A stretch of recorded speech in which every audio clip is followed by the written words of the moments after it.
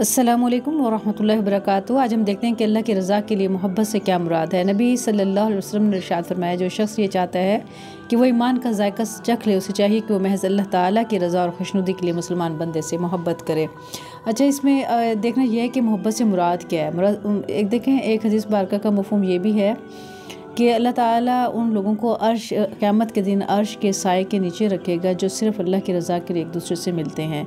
तो इससे मुराद ये है कि जब हम किसी इंसान से मिलने के लिए जाएँ तो जहन में ये रखें कि यहाँ हम अल्लाह ताला की रज़ा के लिए मिलने जा रहे हैं। हमें उस इंसान से कोई ख़ास गर्ज़ नहीं, ना दुनिया की, ना आखरत की गर्ज़ है। सिर्फ़ उसकी खैरियत मालूम करने जा रहे हैं, ये देखने जा रहे हैं कि भाई हमारा, या बहन के साल में है। और वो क्या करते रहते हैं, उनसे मिलें और उसके बाद मिलने के बाद ये नीयत, यही नीयत होनी चाहिए जब घर से चलें कि हम अल्लाह की रज़ा के लिए मिलने जा रहे हैं। तो ऐसे शख्स को अल्लाह ताला बहुत पसंद करता है जो मेल जोल आपस में अल्लाह की रज़ा के लिए करे और कोई दुनियावी गर्ज ना हो। अच्छा ये भी समझ लें कि अल्लाह की रज़ा से मिलने का मतलब ये नहीं कि एक इंसान से मिलने के लिए जा रही हैं।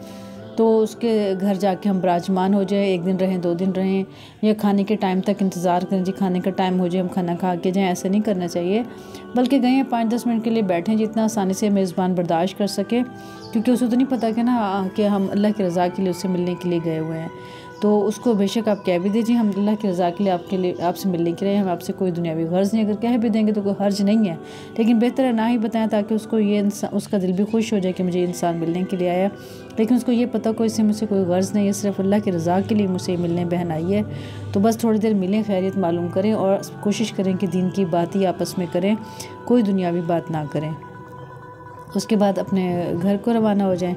वैसे इस मसरूफियत के दौर में बहुत मुश्किल होता है घर से निकलना और जब इंसान वक्त निकाल के अल्लाह की रज़ा के लिए जब किसी को मिलने के लिए जाता है तो ज़रूर उसका अजर सवाब भी मिलता है। तो अल्लाह ताला से इल्तजा और गुजारिश है हमें इल्म के साथ अमल करने की तोफ़ी और साथ नसीब फरमाए, पक्का सच्चा मुसलमान बने और हमारी ज़िंदगी का हर हर कदम अल्लाह की रज़ा के लिए उठे और अल्लाह की रज़ा के लिए ही हम एक दूसरे से मिलें। आमीन या रबालमीन अल्लाम वरहमल वर्का